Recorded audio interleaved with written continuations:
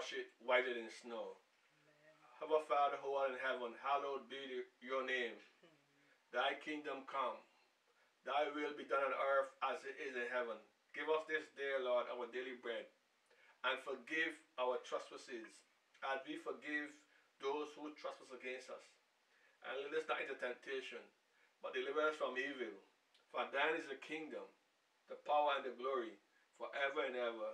Amen. Today, Lord, we glorify you and we praise you. And we bless you and we thank you for your grace and your mercy. We thank you, Lord, for your peace that passeth all understanding. We thank you, Lord, for being alive, for mercy and grace, because mercy and grace and love have been given, have been bestowed unto us. Now are we the children of God. Now are we the sons of God. Now are we heirs of salvation. Now we heirs and joint ears with you, Lord. Hallelujah. Amen. Thank you for redeeming us. Thank you, Lord, for bringing us out of darkness into your marvelous light. Amen. Thank you for washing us in your blood. Thank you for filling us with your spirit. The interest of your word is, is what gives us strength and knowledge and understanding. So that's why we're here today to bring honor and to bring glory to your precious name. And everything we do, we give you thanks. God, it is your will concerning us. We honor you, Lord, with the fruits of our lips.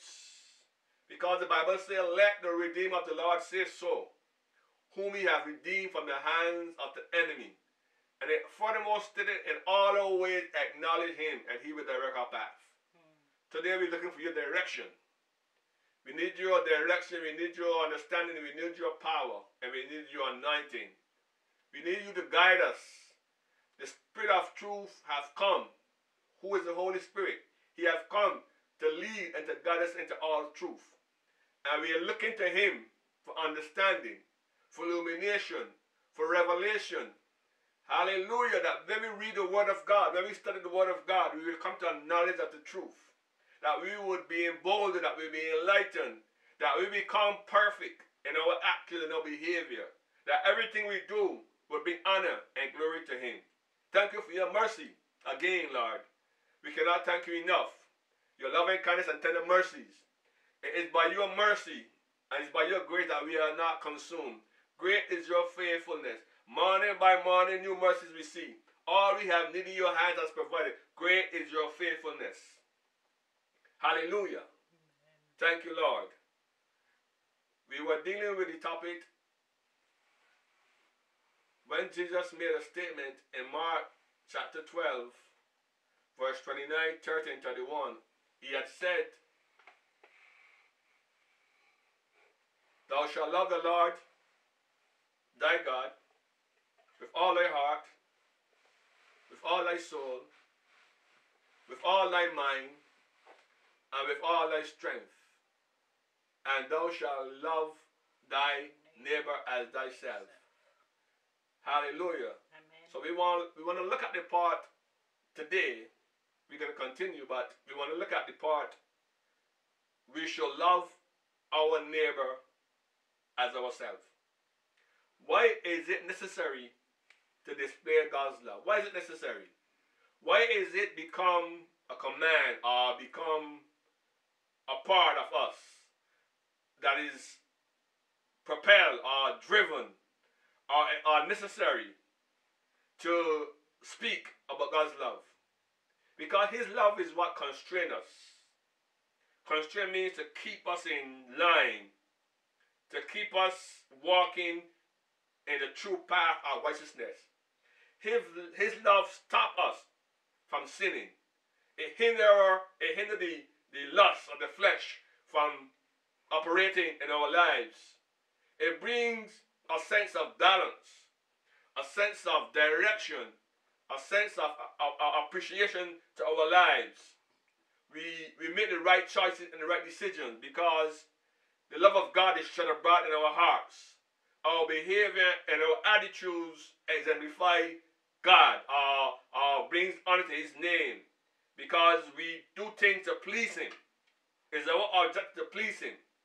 So When we love our neighbor as ourselves, we will not lie, kill, steal, commit adultery, or covet what is his. In other words, we will do everything that pleases God and will not become contrary to God's word or be hurtful or harmful to, to others. What we want for ourselves, the good things of God, we would tend to share or tend to want or tend to bring about for others also. Now, this is what God said in Ezekiel 18, verse 4. Ezekiel 18, verse 4. Behold, all souls, souls are mine. As the soul of the Father, so also the soul of the Son is mine. The soul that sins, it shall die. Hallelujah. Amen. And if we were to compare Romans 6 23 with this passage of scripture, we would see that it says that the wages of sin is death, but the gift of God is eternal life in Christ Jesus our Lord. For the wages of sin is death, but the gift of God is eternal life in Christ Jesus our Lord. So we talk about our neighbor. How do we love our neighbor? What hinders or what causes it causes us to, to not have this command operating in our lives? What are the problems associated with loving our neighbor? What hinders it? But the love of God is shed abroad in our hearts. But before we can consider God's love, or God's peace, or God's mercy, we have to look at the symptoms, or we have the condition that mankind is in, which is sin. Sin is, is, the problem with us. We have a sin problem. The soul, and God made a command, the soul that sins, it shall die. It's a command. When he gave that command to Adam in the Garden of Eden, he says, In the day that you eat of the tree, in the tree, you will surely die. The tree that was in the center in the midst of the garden. Whenever we disobey God, we are under his wrath. We are under his condemnation. We are subject to death. And all mankind lies under the sentence of death. All mankind. Until God delivers them or show them mercy. So the soul or person that continue in sin, sinning habitually, we talk about sinning habitually, no, sinning as a habit, sinning as a, a everyday practice, sinning as an everyday behavior trait, without repenting for his sins towards God and putting faith in Jesus Christ as Savior and Lord shall die the second death. If you continue habitually sinning and do not repent and put your trust in Jesus Christ as Savior and Lord, you will surely experience eternal death or the second death. That means those person will be eternally separated from God, from God's presence, and suffer his wrath eternally.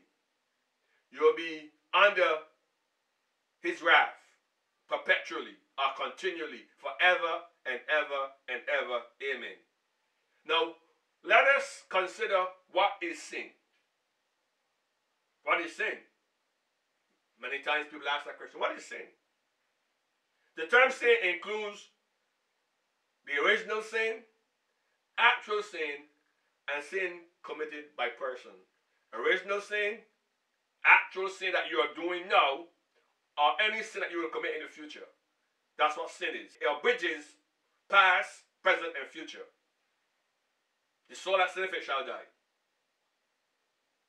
So sin encompasses past, Adam, what sin any person that commits during their lifetime or any sin that they will commit in the future. Hallelujah. It's a terrible condition. Sin is a, a violation of God's law. Sin is, is depravity.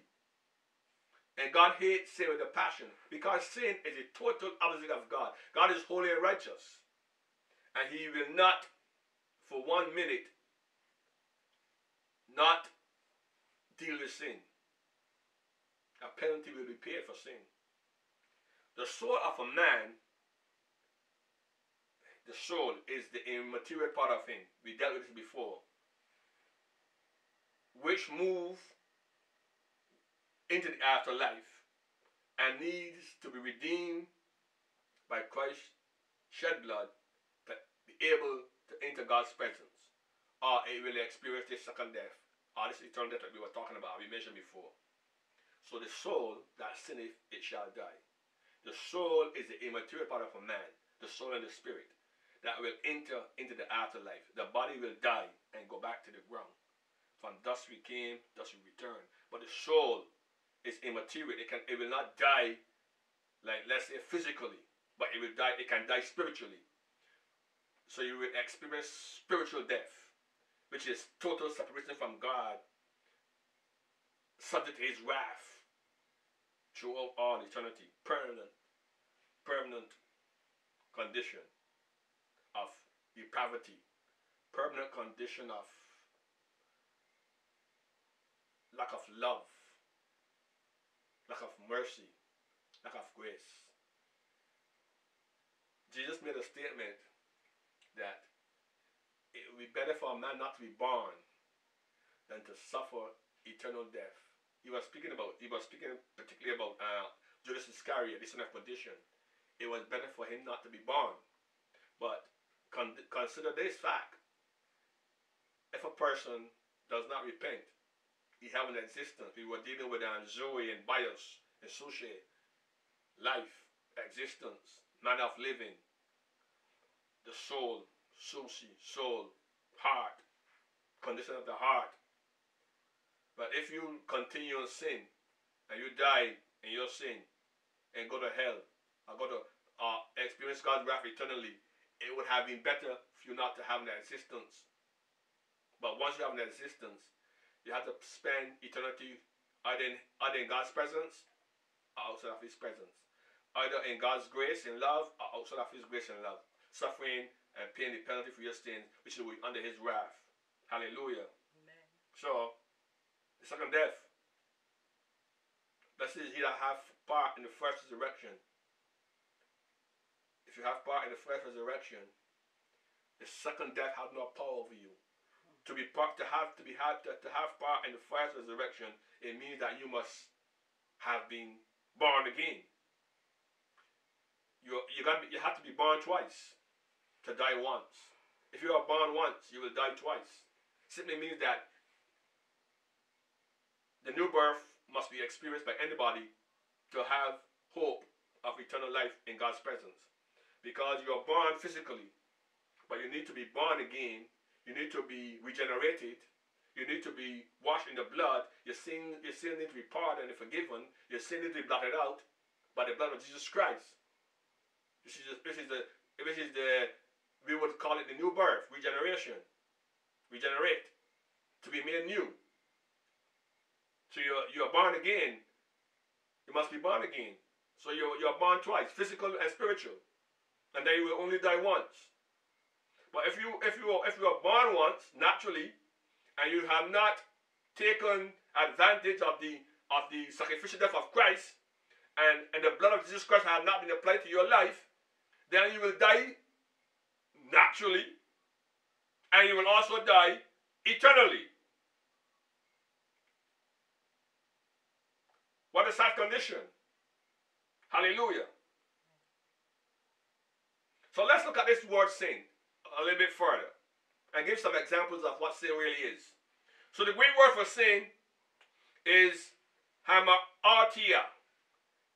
H-A-M-A-R-T-I-A. Hamartia. Sin. It means sin. Sinful. It means an, an offense. Hamartia literally means missing of the mark. Sin is a missing of the mark, a mark of holiness, a standard that God has set. True and perfect, and you miss it. A plumb line is used to find the center. Because of gravity, it will fall perpendicular to the surface of the ground. No matter how you how it's lean, if you're it's on an incline, it will be always be perpendicular. So a plumb line. So missing the mark. You're not walking true. You're not walking in truth. You're not walking in holiness. It is the most comprehensive term for, mar- for moral deviation. Any moral deviation is sin. Anything that is outside the scope of God's holiness and righteousness is sin. Thought, deeds, action, imagination. Anything outside of that is sin. It is used of sin as a principle. Now, sin is a principle. It is a it is a habit. It is a construct in, that is in that is in you that controls you. In fact, you are in bondage. You are like a slave. I know people don't like to hear the word slave, but if you are a sinner, you are a slave to sin. You are in bondage. You have no choice. It, is, it, it, it, it, it takes control of all your moral perspective, of your conscience. It takes, it takes control of your behavior. You develop lust and hatred and malice. Sin is the root for murder, adultery, fornication, re- reveling, fighting, lying, stealing. It is the cause. Is the cause of all, uh, of all sickness and diseases. Because of sin, there's sickness and diseases. Sin is a vile, obnoxious, despicable depravity. And, it originated with Satan himself. He's the father of sin. But we have a father of righteousness, which is which which which or who have come in the person of his son, and also by the power of the Holy Spirit to redeem us, to, to separate us, to, to deliver us from the bondage and the power of sin. So now we become slaves of righteousness, or servants of God. We are servants of God. We are servants of righteousness and holiness. Hallelujah. Amen. So sin is a governing principle of power. As in Romans 6 6.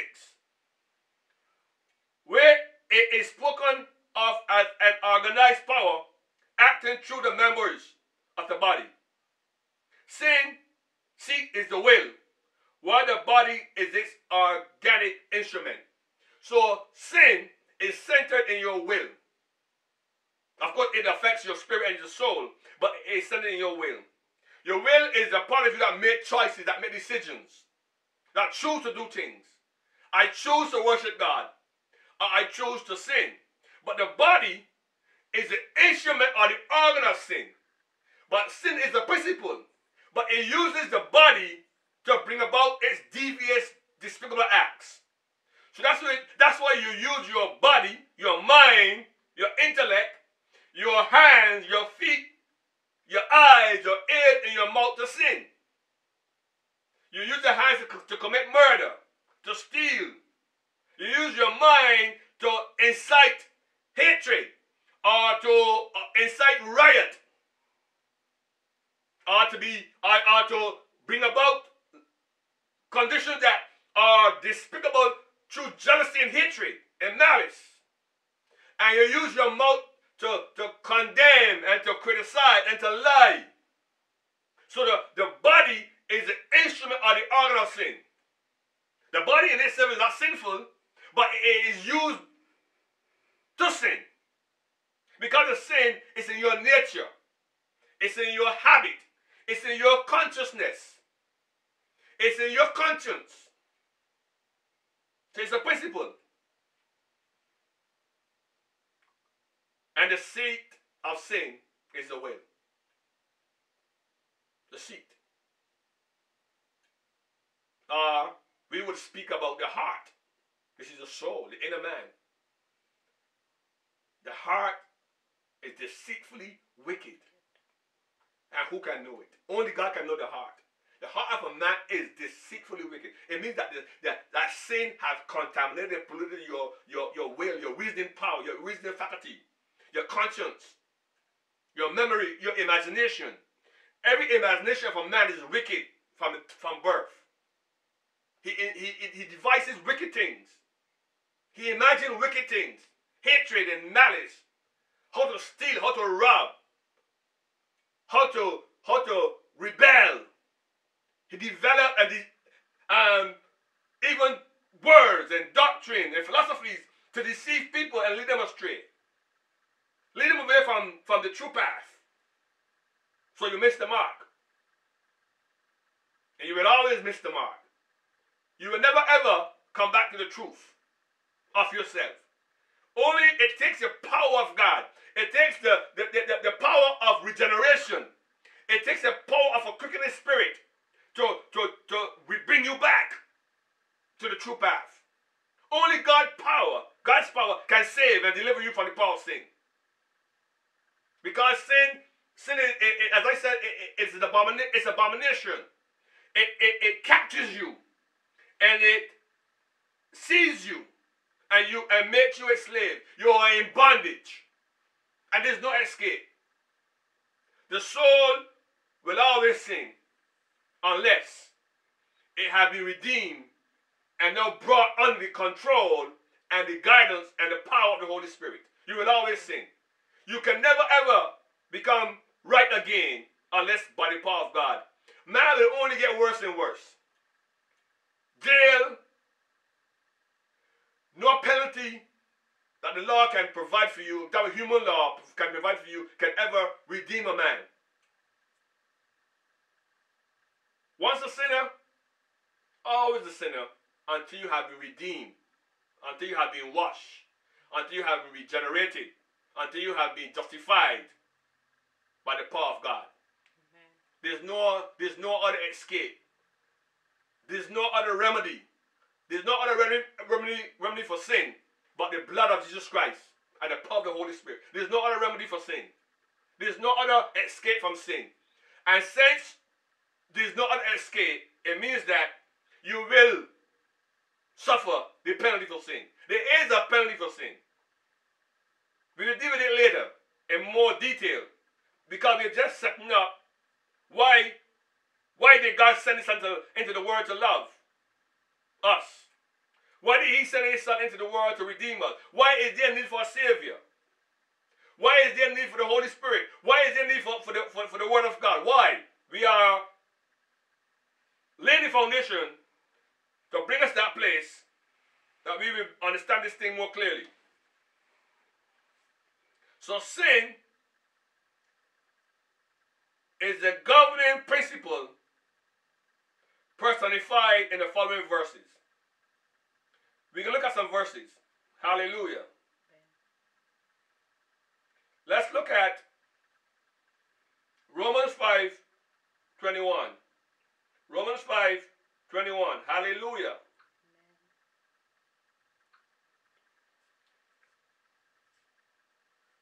Let's read from verse 20.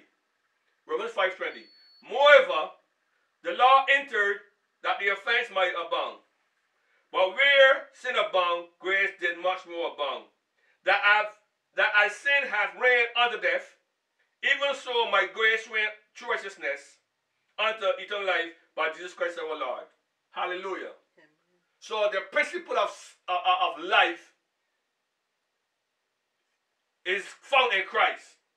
I'm talking about spiritual life. But the, the principle of death is found in sin. And it came, what, what God did when he gave the law. In fact, it says that death,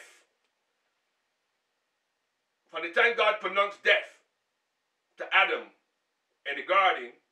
So death reigned from Adam to Moses until the law came.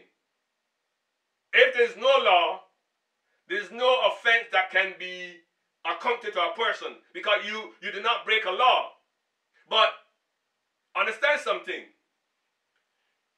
That was speaking about the Mosaic law when God gave the law to Moses to be delivered to the children of Israel. Death reigned. So if death is reigning from Adam to Moses, it means that there had to be an offense between Adam time to Moses time. There had to be an offense because death was present. I was reigning. I was in control. There was no escape for man other than if God delivered them personally as he did with some individuals like like Enoch and like and like um Noah or Abel. Death reigned. There's a law. God's law, moral law, his righteous law, his holy law. From the time Adam sinned, he violated God's law. What God did with man, he gave man a conscience. There are different dispensations that was in effect up to Adam's from Adam to Moses.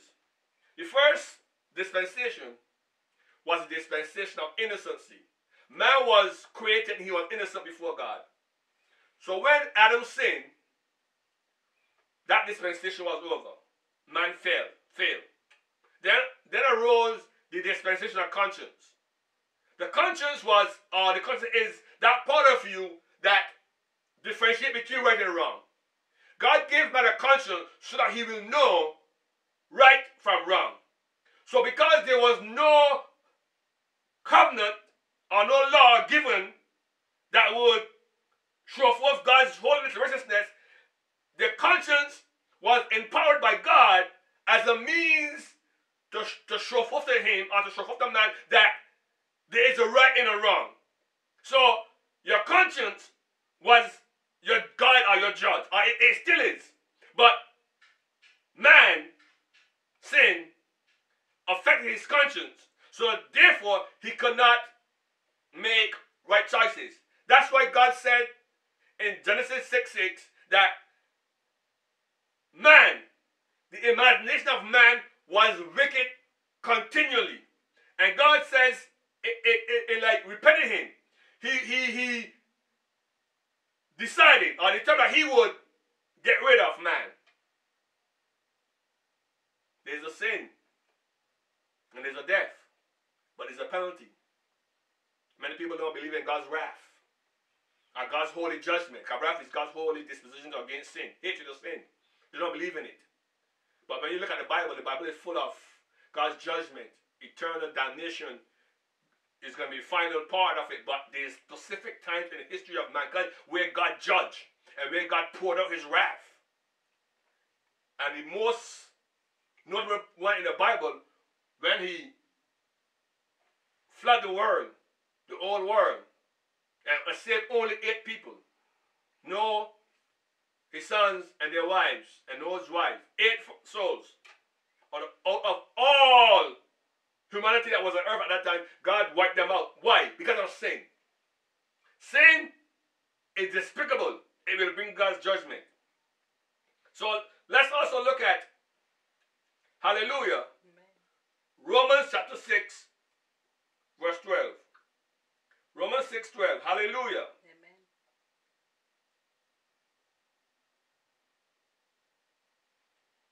Likewise, reckon ye also yourself to be dead, indeed unto sin, but alive unto God through Jesus Christ our Lord. Let not sin therefore reign in your mortal bodies, that you should not, that you should obey it in the lust thereof. Neither yield your members as instruments of unrighteousness unto sin, but yield yourself unto God, as those that are alive from the dead, and your members as instruments of righteousness unto God. Again, we see that the, the will is the seat of sin, but the body or the members of the body are the tools or the instrument that sin uses. So Paul is saying that we must not let sin reign in our body. Sin must not control our behavior. Sin must not control our action. When you are a child of God, you walk in holiness. You walk in righteousness. It is the love of God that is propelling you. It is the love of God that is propelling you. It is the strength of the Holy Spirit that is guiding you and leading you. So you don't use your members of your body as instrument of unrighteousness, hatred and malice and, and lying and stealing and cheating. No, you use your members now as instrument of praise and honor and worship to God. You offer up praises, the fruit of your lips, worship. Your body to become instrument of righteousness and holiness. You use your body to praise and to glorify God and become a help to your neighbor. You love your neighbor as yourself. You help your neighbor. Hallelujah. Let's look at Romans chapter 3, verse 23. Hallelujah. Romans 3 23. We know that scripture very well, but let's read it. Hallelujah. Amen. For all have sinned. All. And come short of the glory of God. Again, missing the mark. Come short of the glory of God. Every man have sinned. All. All mankind lies guilt before God. Because Adam sinned, Adam's sin was passed on to every person that was born or will be born after him. Adam was the person that God used to represent mankind. He was the federal head of all mankind. So Adam was the one that God made contract with. He said to Adam, Do not eat. In the day that you eat, you shall surely die. Not only Adam, all of his descendants will die. But what God did, uh, God had already planned to do anyway, it was part of his plan, he will send a second Adam. The second Adam is a quickening spirit. The second Adam is Jesus Christ himself. He's the first. You know, we said Adam was the first man, which is true. But from what perspective? Adam was the first revealed man. The first man that was put into the world. But Adam is not really the first man. The first man is always Jesus. Jesus is the first man. He was revealed second, but he's the first. When God said, let us make man in our image and our likeness, he was really referring to the, in the letters of Jesus. Because Jesus is the quickening spirit. Adam is just a, a, a, a, soul, a living soul. Adam cannot, all Adam can do is give physical life. He cannot give spiritual life. He cannot give eternal life. So the, the, the, the, the preeminent one, who is Jesus Christ himself, he's the one that is the first. And all things, he must have the preeminence. So it is through Christ that we have life. True life. True spiritual life. True hope. True joy. True peace. True love. True understanding. It is through him because he came that we might have life and have it more abundantly. He came that we might have spiritual life. We might have hope. We might have joy. We might have reverence before God. We might have communion with God. He came to redeem us, to buy us back, and deliver us from the penalty of our sin. Hallelujah. Blessed be the name of the Lord forever and ever and ever. Amen. Amen. Let's look also at 1 Corinthians chapter 6 verse 18. 1 Corinthians chapter 6 verse 18. Hallelujah. He says, flee fornication. Every sin that a man doeth is without the body. But he that committeth fornication sinneth against his own body. Then he goes further in verse 19. What? He asks the question, what? Know ye not that your body is a temple of the Holy Ghost, which is in you, which ye have of God, and you're not your own, for you are bought with a price. Therefore glorify God in your body and in your spirit, which are God. Now, Paul is speaking to redeemed persons, to us, the children of God, the believers. Hallelujah. So he says, flee fornication. Every sin that a man does is without the body. it means that if you kill, it's without. When you lie and you steal it's without is without. But when you commit fornication, you're joining your body to an idol, to ungodliness. It, it, it, it affects your body. And you're sinning against your own body. First, of course, you're sinning against God, but you're committing sin against your own body. Then he says, What? Don't you realize, don't you know that your bodies are the temple of the Holy Ghost? When the Holy Spirit comes, He takes possession of our bodies. That's what we read. It says that God said, All souls are mine. All souls are mine. We belong to God. We are, we are His sheep. We belong to Him. And sin want to take us away from God. But when we receive Christ as Savior, the Holy Spirit resides in us. We are His temple. So if you violate or you deface or contaminate your body, you're contaminating the temple of the living God.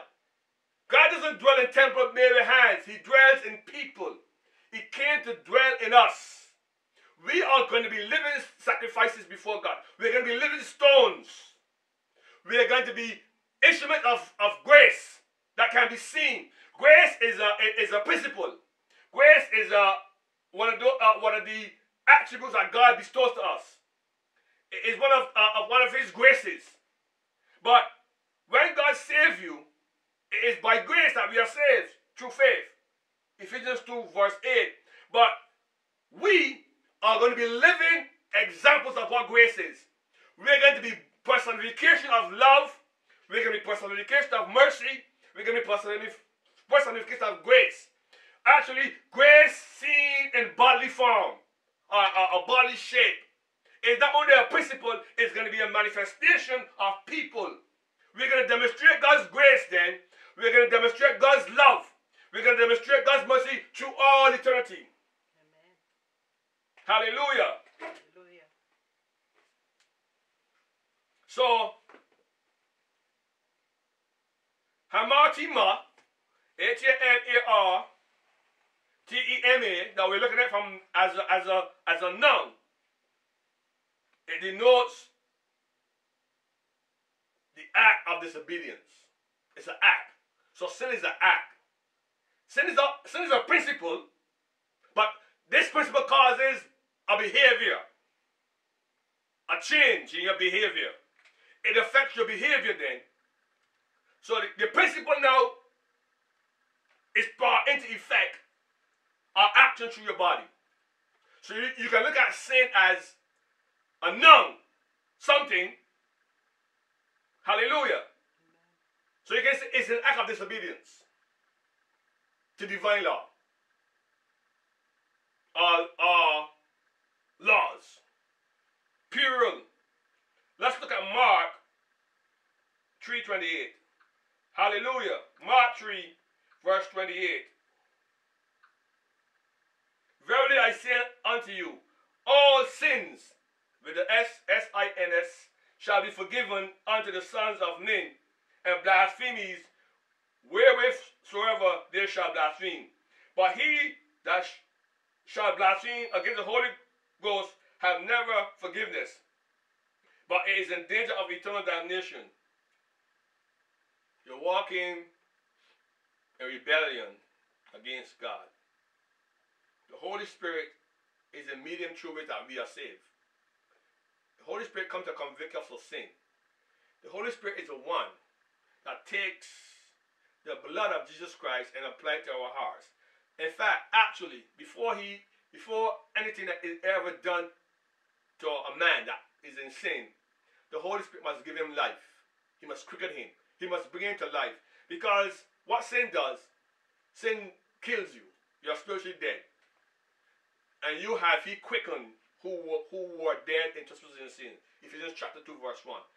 When you are in sin, you are dead. You're a dead man. Like this, like this pulpit here. You are dead. You're physically alive, but you're spiritually dead. From God's perspective, you are dead. And from your own perspective, you are also dead because you have no love for God. You have no desire to worship God. You have no desire for the things of God. In fact, you, you, have no, not only don't have no desire, you have no power. You cannot, you cannot come to God of your own. No man can come to God. No man chooses to come to God by himself. The Holy Spirit draws him, or the Father draws him through the Holy Spirit. It is, it is God that draws you to himself. It is God that applies grace to you. It is by grace that we are saved through faith. But grace is the medium, grace is the cause, grace is the source of our salvation. Now, it's true faith, because faith is necessary for justification. But but the Holy Spirit is the one that quickens you first. He must apply the quickening touch. Imagine a dead man. He went into the river or in the sea and he drowned. He's unconscious. He's dead. He's lying on the sand.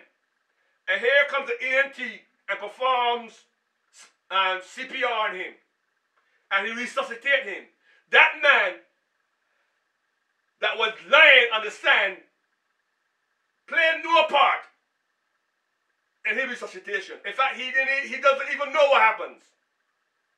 Only when he comes to life again, only when life is restored to him, he understands that he was dead and someone came and offered him or helped him and brought him back to life. So when you are a sinner, you have no concept of God's holiness. You have no concept of God's righteousness. You have no desire. Faith, you have no faith. But what God does, He quickens you, and in quickening you, He imparts faith to you. He imparts grace and faith. And because you have faith, now you come to understand that you are a sinner. Now you begin to see yourself as sinful and wicked and evil in need of God's love, in need of God's help. So he said, Lord, help me. Lord, save me. Lord, forgive me. Lord, have compassion. Lord, have mercy upon, upon, upon me. Because I realize that the, your word said, You sent your son into the world that I might be saved. So, Lord, let that work be done in me. So, we err. We make mistakes. And we walk contrary to God's law. So we see that as a noun, hamartema, you know, act of disobedience. But let's let's also look at it from the from as a verb. Hamartano, instead of a a, is gonna end in N-O. Instead of M-A, it ends in N-O. H-A-M-A-R-T-A-N-O.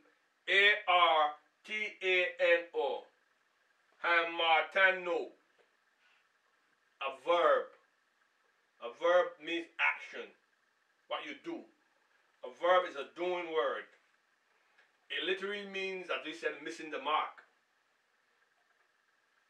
And a share in the price.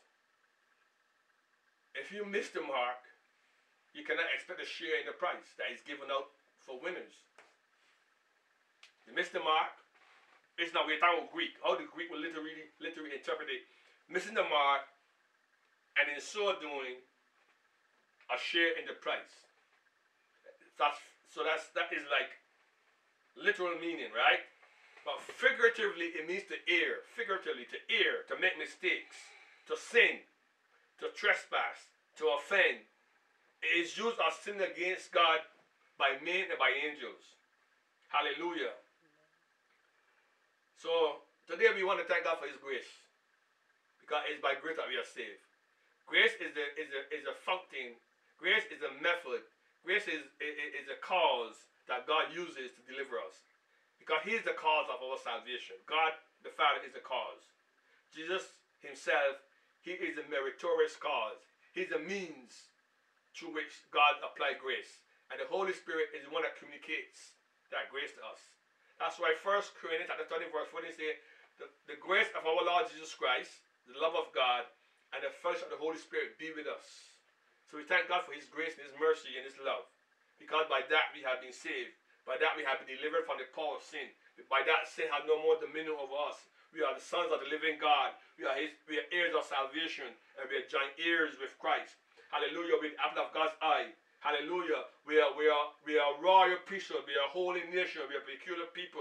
He have he have called forth of darkness in his marvelous light. We walk by faith and not by sight. We are the elect of God. We are the children of God. We are strong.